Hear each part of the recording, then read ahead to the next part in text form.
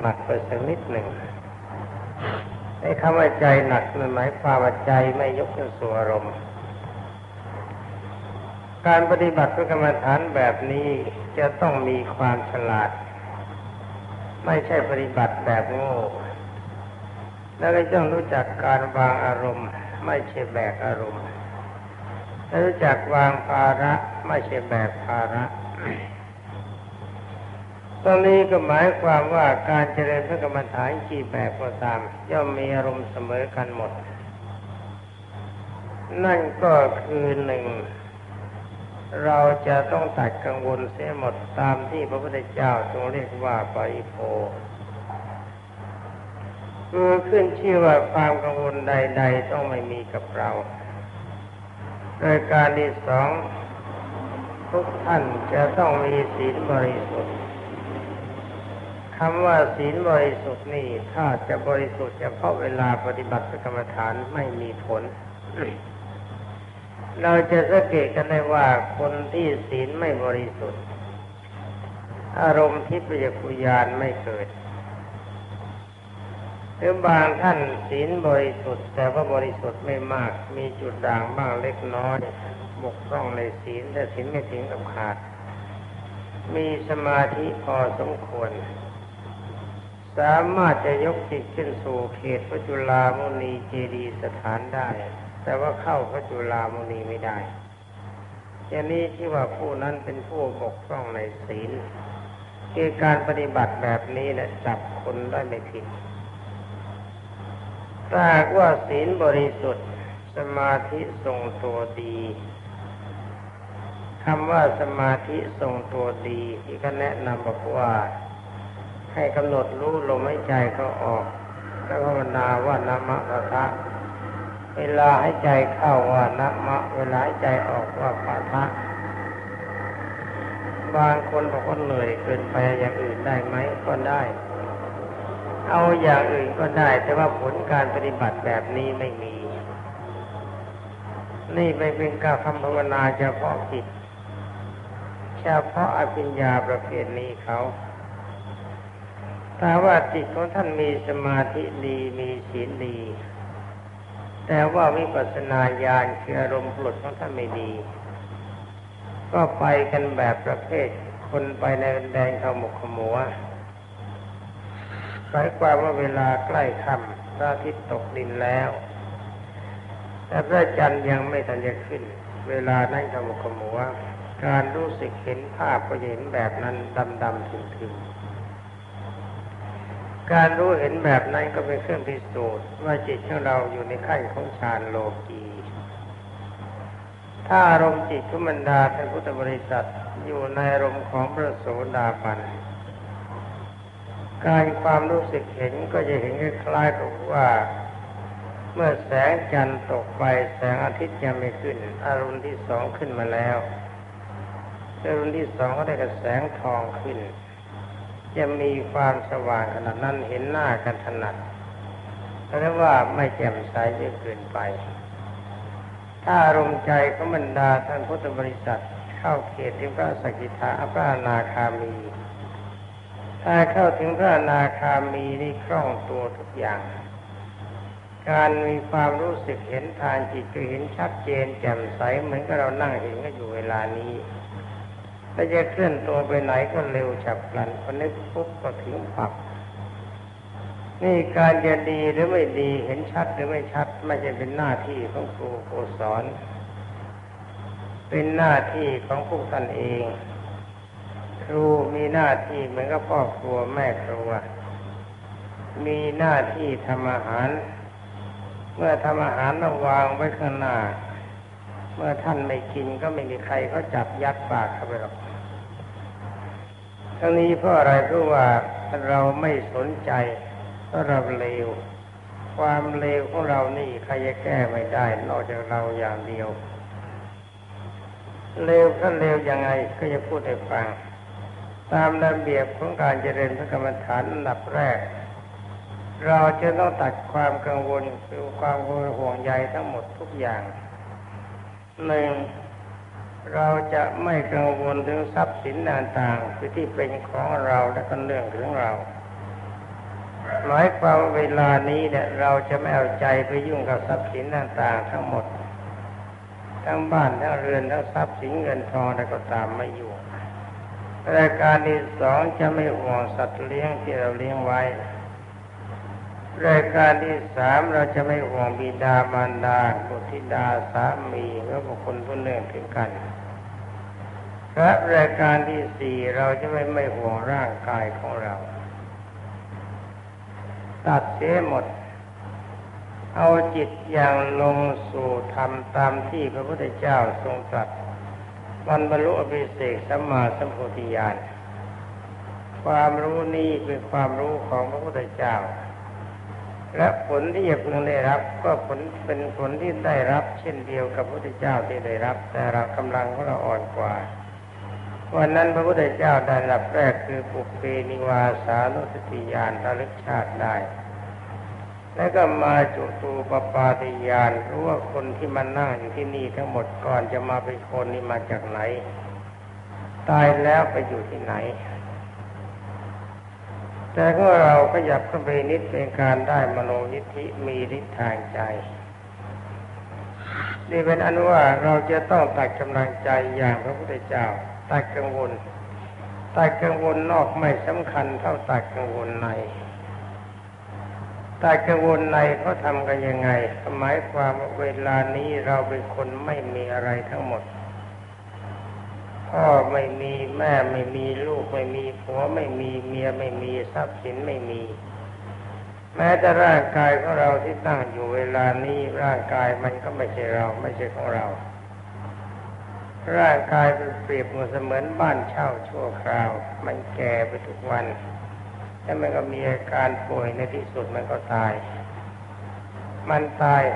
เราไม่ได้ตาย คำว่ามันตายก็หมายถึงร่างกายตายแต่จิตใจไม่ได้ตายไปด้วยเมื่อจิตใจไม่ตายถ้าจิตดี จิตร่างกายตายจิตไม่ตายจิตมีอารมณ์ดีเป็นกุศลก็ไปสู่สวรรค์บ้างพรมโลกบ้างนิพพานบ้าง ถ้าจิตเลวก็ไปตกนรกบ้าง ไปเป็นเปรตบ้างไปสุรกายบ้างเป็นสัตว์เดรัจฉานบ้างมาเป็นคนบ้าง การที่มาเป็นคนนี่มันหมายว่าจิตดีและจิตมันเลว มันติดอยู่ในอำนาจของกิเลสตัณหาปาทานในกุศลกรรมมันจึงมาเป็นคน เกินการเกิดเป็นคนนิยาทันลงตนและว่าวิเศษ เราเป็นธาตุทุกอย่างธาตุของตัณหา เราจะมีความทุกข์เป็นอันว่าให้ทุกคนตัดกังวลเสียโดยเฉพาะอย่างยิ่งตัดร่างกายและโดยเฉพาะ วันนั้นพระพุทธเจ้าท่านทรงดำริว่า เมื่อนั่งดูที่โคนต้นโพท่านทรงตั้งใจว่าถ้าเราไม่ได้บรรลุอภิเศษสัมมาสัมพุทธญาณเพียงใดเลือดเลือเนื้อจะแห้งไปแม้ชีวิตทินตินซีจะตักใสเราก็ยอมพร้อมที่จะไม่ยอมลุกจากที่นี้ถ้าไม่ได้ก็ให้มันตายไปเสียง่ายๆมันจะตายก็เชิญตายร่างกายไม่ใช่เราไม่ใช่ของเรา นี่เราก็ต้องตัดสินใจอย่างองค์สมเด็จพระสัมมาสัมพุทธเจ้าเหมือนกันนี่เวลาที่เราปฏิบัติเราต้องตัดสินใจว่าเราพร้อมขันห้ามันจะพังเมื่อไรก็ช่างมัน แต่ใจของเรานั้นต้องการสนิพาน เวลานี้เราไม่มีอะไรทั้งหมด ไม่มีแม้แต่ร่างกายของเรานี้มันก็ไม่ใช่เราไม่ใช่ของเรา ร่างกายเหมือนกับเสื้อเหมือนกับกางเกง ถึงเวลามันขาดแล้วก็ปลดทิ้งไปเปลี่ยนชุดใหม่เข้ามาตามกำลังของกรรมที่ตั้งใจแบบนี้นะเป็นอันว่าเวลานี้ตัดสินใจเสียถือว่าเราเป็นบุคคลตัวผู้เดียวไม่มีใครทั้งหมดแต่ถ้าร่างกายนี้องค์สมเด็จพระสบรมสุคตก็ถือว่าไม่ใช่เราไม่ใช่ของเรา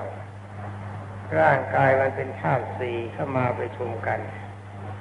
ธาตุน้ำธาตุดินธาตุลมธาตุไฟแปลงแปลงการสารสองชาติทุกขาเมื่อเพียเกิดมันก็เป็นทุกข์เจราวิทุกขาความแก่เข้ามาถึงมันก็เป็นทุกข์วรณำวิทุกขังเมื่อความตายจะเข้ามาถึงมันก็เป็นทุกข์ก่อนที่จะตายการป่วยไข้ไม่สบายมีขึ้นมันก็เป็นทุกข์การทำมาหากินมีความเหน็ดเหนื่อยมันก็เป็นทุกข์ เป็นอันว่าร่างกายนี้เป็นร่างกายฝังความทุกข์เก็บความทุกข์เอาไว้ทำให้ใจเราทุกข์ไปด้วยฉะนั้นร่างกายนี้เราจะไม่มีมันอีก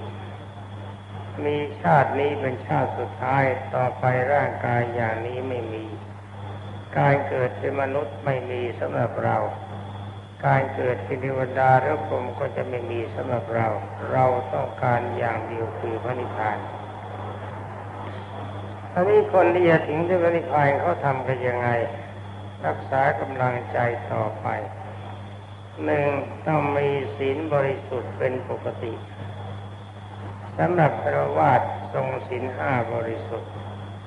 ศีลห้านี่ทรงได้ถึงพระโสดากับสกิทาคามี ถ้าจิตก็เราเข้าถึงพระอนาคามีจิตจิตเราก็รักษาศีลแปด ศีลแปดไม่เกิดขึ้นมาเองพระอนาคามีเป็นพรหมจรรย์ไม่มีผู้ครองในเมื่อพระอนาคามีเข้ามาถึงศีลแปดก็เข้ามาถึงเรื่องเขาศีลนี่ไม่ใช่จะมาบริสุทธิ์กันวันนี้ก็ควรจะบริสุทธิ์กันมาเสียก่อน ถ้าศีลไม่บริสุทธิ์มาก่อนก็ตัดสินใจเสียเดี๋ยวนี้ ว่านับตั้งแต่เวลานี้เป็นต้นไปจนกว่าจะสิ้นลมปราณ เราจะทรงสิ่งของเราให้บริสุทธิ์ยิ่งกว่าชีวิต เราจะรักสิ่งของเรายิ่งกว่ารักชีวิต เราจะพยายามรักษาศีลให้หมดให้ให้บริสุทธิ์ให้หมดทุกสิกขาบท ไม่ยอมไม่สิกขาบทใดสิกขาบทหนึ่งบกพร่อง ตัดสินใจสินะ ที่ไปกันไม่ได้ไม่ได้สินขาดบ้างสินด่างบ้างสินซ้อยบ้างพระที่ไปไม่ได้ก็เพราะทรงอบัติที่มันมีความสำคัญตั้งแต่ปลายปีขึ้นไปไม่เห็นไม่ผลอะไรหรอกพระที่มาฝึกยากๆเพราะอะไรเพราะว่าพระมีศีลสองร้อยี่สิบเจ็ดแต่บางองค์ศีลเหลือไม่ถึงห้าตัว ถ้ายังโกหกเป็นมันก็ขาดไปแล้วไอ้ศีลสองร้อยี่สิบเจ็ดไม่มีเราศีลห้าขาด นี่แปลว่าพระท่านนองตนว่าผู้มีศีลมากแต่ความจริงไม่จริง บางองค์มีศีลไม่ถึงสองตัวในศีลห้าในศีลห้ามันไม่ครบศีลสองร้อยี่สิบเจ็ดมันจะมียังไง นี่ที่ไปก็ไม่ได้ที่ยังเผืออยู่ก็อารมณ์นี้เป็นสำคัญในรายการต่อไปคนที่ไปวินิพานได้ก็ต้องทรงอารมณ์จิตมีสมาธิเพื่อมีความตั้งมัน่น จิตใจตั้งมั่นอยู่ในการละความโลภละความโกรธละความหลงคำว่าสมาธิก็แปลว่าตั้งใจ เอาจิตใจเข้าไปจดจ่ออยู่ในอารมณ์นั้น ความโลภเราทำลายด้วยการให้ทาน ความโกรธทำลายด้วยการรักษาศีลความหลงทำลายด้วยการเจริญภาวนาตอนนี้ ในเมื่อมีสมาธิดีแล้วก็ต้องมีวิปัสนาญาณดี วิปัสนาญาณดีก็ว่ามาตามที่แรกเมื่อกี้นี้ รวมความแล้วว่าเราเวลานี้เราจะไม่มีความห่วงความกังวลใด ๆ ทั้งหมดจำไว้ให้ดีนะ แม้แต่ร่างกายของเราเราก็ไม่ห่วงเลิก มันจะตายฉันได้เวลานี้ประเสริฐ ถ้าจิตใจท่านมีความเข้มแข็งแบบนี้แล้วก็ วันนี้มันก็ได้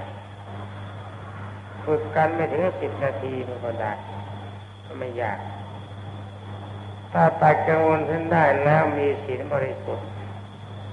อารมณ์สมาธิคือการทรงตัวของจิตวิปัสสนาญาณก็ที่พูดมาตอนตัดกังวลนั่นนี่ขอบรรดาท่านพุทธบริษัททุกคน ที่ปฏิบัติได้แล้วหรือปฏิบัติไม่ได้ ต้องทรงอารมณ์อย่างนี้ไว้เป็นปกติคำว่าปกตินี่ให้มันทรงติดอยู่กับใจตลอดเวลา ไม่ใช่เรียกไปตั้งท่าตั้งทางเมื่อนั้นที่จะทำมันนี่ที่จะทำอารมณ์นั้นจะต้องเวลานั้นอารมณ์นี้ต้องเวลานี้ มันต้องทุกลมให้ใจเข้าออก นี่เราฝึกเอาดีกัน ไม่ได้ฝึกเพื่อเที่ยวไปสวรรค์ไม่เที่ยวนรกเราฝึกเอานิพพานกันโดยตรง การฝึกอย่างนี้ไม่ใช่ฝึกเพื่อเที่ยว ฝึกเพื่อต้องการให้ทุกท่านถึงพระนิพพานในชาตินี้และในวันสองวันนี้แหละนี่ที่เขาจะมากันวันเดียวได้เนี่ยเขาทำกันอย่างนี้ พวกคนพ้นโลกที่เขาจะมากันมากก็เพราะว่าคนมาจากเพชรบุรี เขามาฝึกวันเดียวก็ได้มีอารมณ์แจ่มใสมากแล้วก็มีเขามีจิตเข้มแข็งเขากลับไปเขาไปแวะที่โรงพิมพ์คนพ้นโลกเขาไปขอขอบคุณคนที่นั่นบรรณาธิการเขามาเล่าให้ฟังเขาก็อาศัยเขาลงหนังสือพิมพ์ยังเขายังมีโอกาสรู้แล้วก็มาฝึกปฏิบัติ จิตใจของเขาเข้าถึงความเป็นพระอริยเจ้าขั้นสูงจะมีความผ่องใส ความเป็นพระอริยะมีตรงไหนเป็นของไม่ยาก พระโสดากับสกิทาคามี มีอารมณ์ความรู้สึกว่าตัวเองจะต้องตายไม่เสียดายชีวิต คิดว่าจิตตรงทำเป็นของดีที่สุดจึงฉะนั้นเรียกว่าไม่เสียดายก็รู้ตัวจะตาย แต่ว่ามันเมื่อจะตายแล้วก็ไม่ยอมเป็นผีเลว ตายเป็นผีก็ต้องเป็นผีดี ก่อนที่จะเป็นผีดีก็ต้องเป็นคนดีไปก่อน คนที่จะดีได้ยังไงก็คือหนึ่งยอมรับนับถือความดีของพระพุทธเจ้า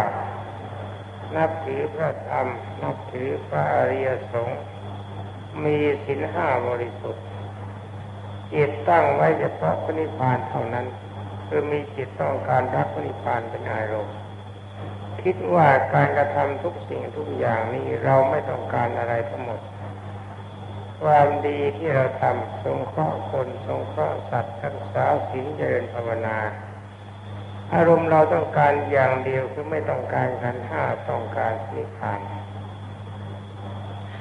นี่อารมณ์ของพระโสดาบันมีตรงนี้พูดย่อๆง่ายๆหนึ่งพระโสดาบันนึกถึงความตายเป็นปกติ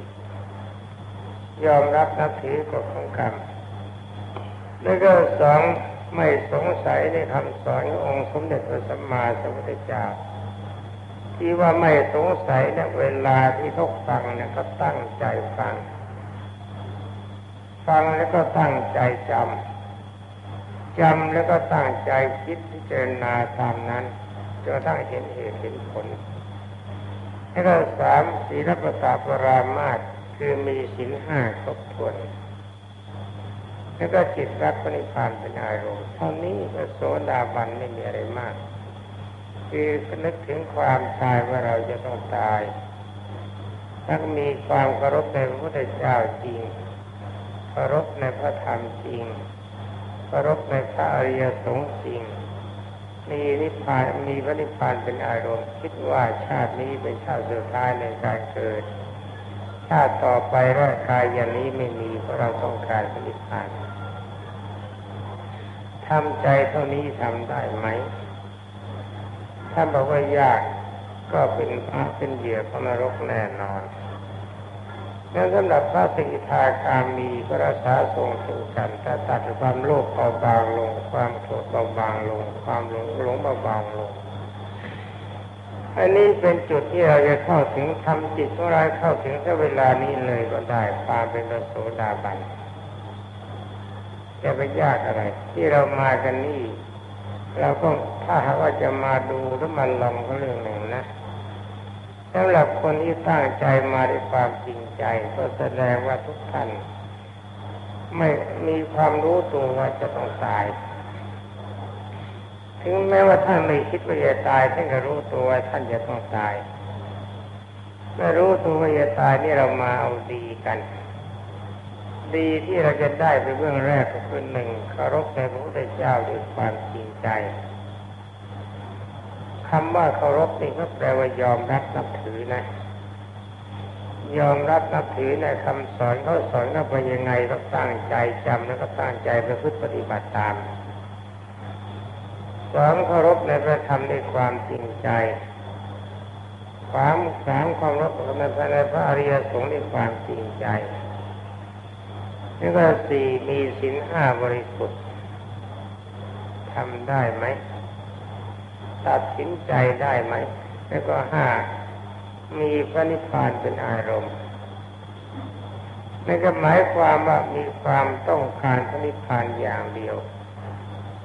ไม่เห็นจะมีอะไรยากเลยถ้าเป็นคนดี แต่คนที่บอกว่ายากก็แสดงว่าคนนั้นเร็วถึงขนาด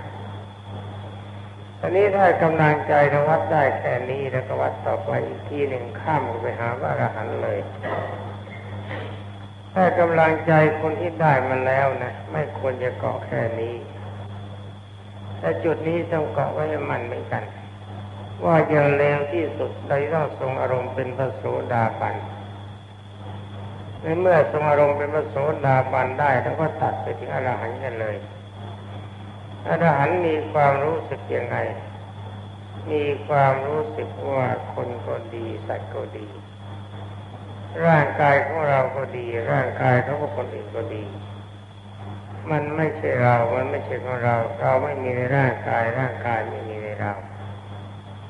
ร่างกายเป็นเพียงธาตุสี่ที่แสนสกปรกที่เราอาศัยชั่วคราวนั้น ไม่ช้าไม่ก็พังเห็นคนเดินไปเดินมาจะสวยขนาดไหนก็ตามเห็นเต็มไปด้วยความสกปรกคิดว่าไม่ช้าก็ไปทราบก็ทราบประสบเห็นทรัพย์สินทั้งหลายก็ถือว่าสิ่งทั้งหลายเหล่านี้ไม่จะเป็นปัจจัยของความสุขมันเป็นปัจจัยของความทุกข์ มันไม่มีอะไรเป็นสุข แต่ถ้าว่าในเมื่อเรามีชีวิตเราต้องใช้เราก็ต้องหา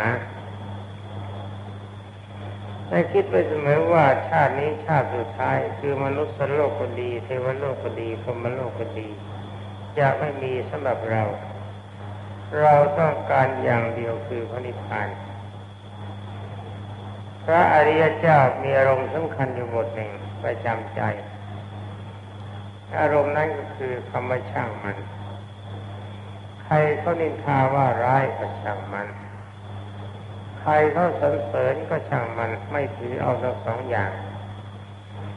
ทุกขเวทนาจะเกิดทางกายและทางใจก็ช่างมันที่ว่ามาเสียบอยากโง่เนี่ยโง่เกิดมามันก็เป็นอย่างนี้ แต่เราก็โง่ชาตินี้เป็นชาติสุดท้ายต่อไปไม่โง่แล้ว อารมณ์ใจสบายวางเฉยเป็นปกติ เห็นคนสวยมาก็ไม่มีอารมณ์รักมันเฉยเฉยเห็นว่าเขาร่ำรวยไม่ก็เฉยๆที่ว่ารวยไม่ไม่ช้าก็ตาย ใครก็ยั่วย้าให้เราโกรธเราเห็นว่าไอ้เรื่องคนยั่วย้าให้เราโกรธไม่แก้เราโกรธคนนั้นไม่ใช่คนดีเป็นคนบ้าเพราะอะไรเพราะคนถ้าเราเกลียดกันโกรธกันมันก็เป็นศัตรูกัน คนดีก็ไม่ทำอย่างนั้นเป็นคนบ้า โบราณเขาบอกว่าจงอย่าถือคนบ้าอย่าว่าคนเมาถ้าเขาจะบ้าเขาบ้าเขาไปคนเดียว เราไม่อยากบ้าด้วย ไม่ช่วยบ้ากันในเวลการต่อไปก็ตัดโมหะคือความหลงจิตปักตรงเฉพาะปณิพาน แค่นี้ไม่มีอะไร ถ้าว่าทำได้อย่างนี้จิตเป็นสังขารุปเวทายานที่เรียกว่าช่างมันช่างมันได้ธรรมดาธรรมดาเนี่ยมันเป็นสังขารุเปรตายญาณนวิปัสนาญาณเก้า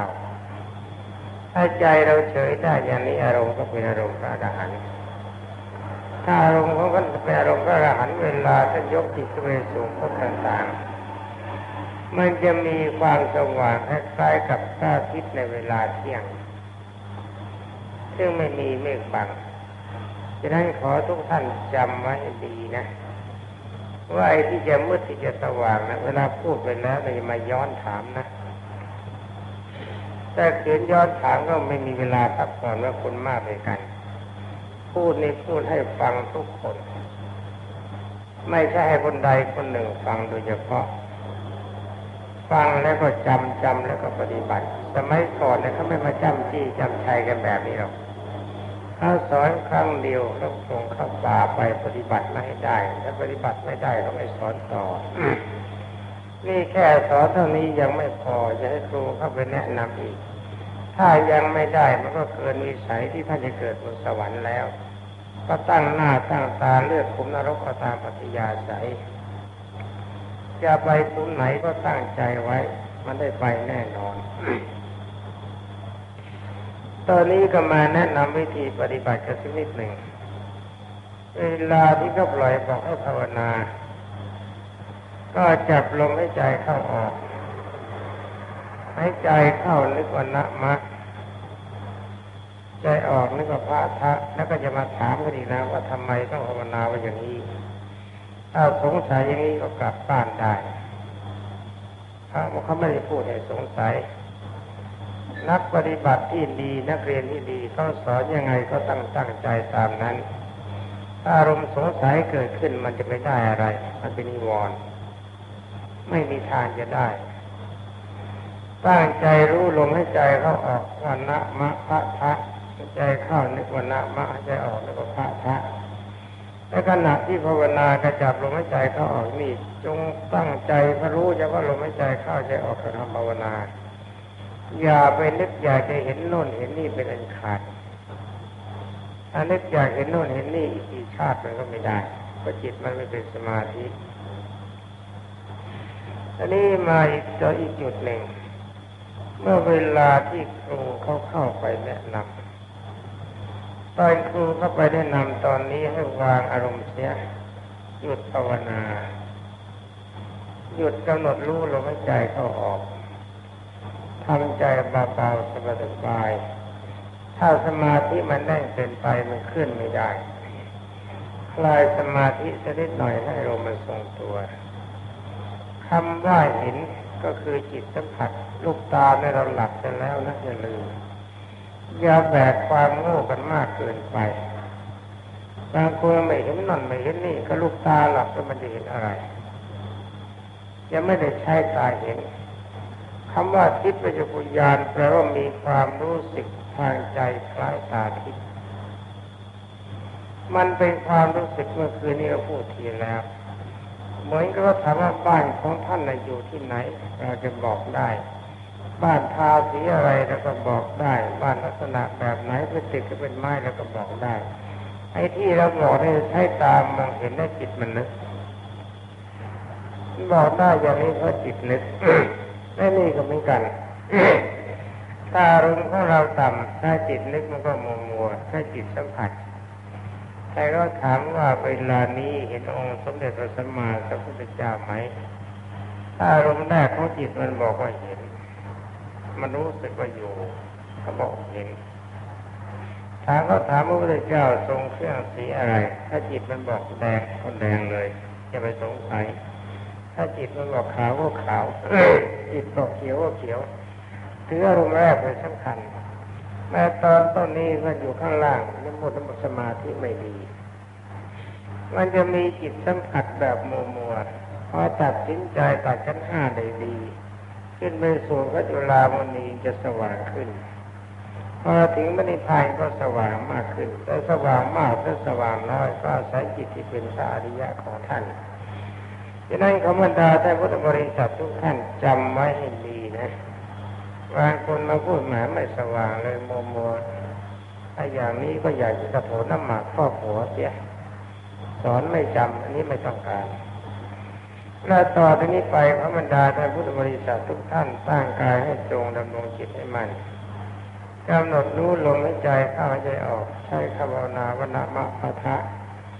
เวลาหายใจเข้านึกว่านามะ เวลาหายใจออกนึกว่าพระทะจนกว่าครูผู้สอนจะเข้าไปแนะนำท่าน